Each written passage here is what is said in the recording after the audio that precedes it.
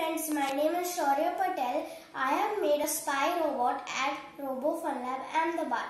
The components of this spy robot are motion sensor, smart hub, beams and plates and many more. I have programmed this spy robot in such a way that it would spy until it detects someone's hand it would stop spying and make a sound. Let me show you a demo.